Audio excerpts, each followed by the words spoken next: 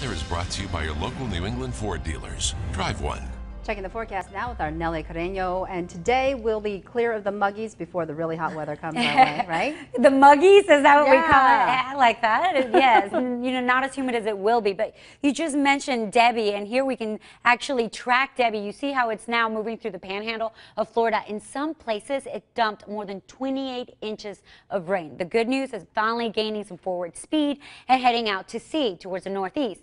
However, it's not a threat to us. It will stay far away from us towards our southeast, and that's due to a frontal boundary that will push it away from us in the next few days. But that same boundary, along with a low pressure system, just refuses to leave us for now. The low now is tracking into Maine, and then we'll go into central areas of Maine, eventually northern Maine later on this afternoon into the evening hours, and start to move away tonight into tomorrow. But until then, across northern New England, you are dealing with a lot of cloud cover and scattered showers showers. A few of those light scattered showers. Uh, moving into the Boston area, you see it right here. Those should continue to dwindle down during the rest of the morning. And for the most part, across southern New England, we will have a dry afternoon. Rather pleasant, more sunshine across Connecticut and central and western areas, but still drier than it has been the last couple of days.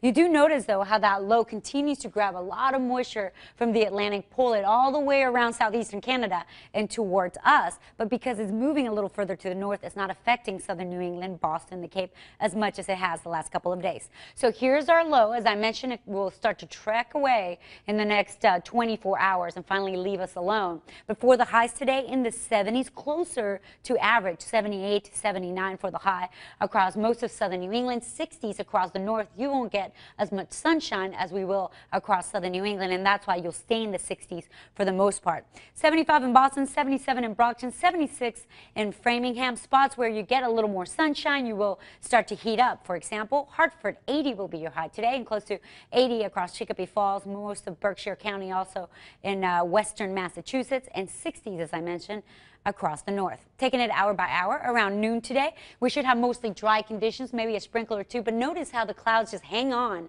for dear life from Boston down over to the Cape, then Connecticut and really Worcester west. Mostly sunny on this Wednesday. Just a beautiful day and scattered showers will remain across the north, but across Maine, at least you're not getting those heavy downpours that you've had the last couple of days. Five o'clock today, maybe a couple of showers south of Boston down over to the Cape. That's about it. We're not expecting thunderstorms this afternoon. And then on Thursday, we wake up with sunny skies.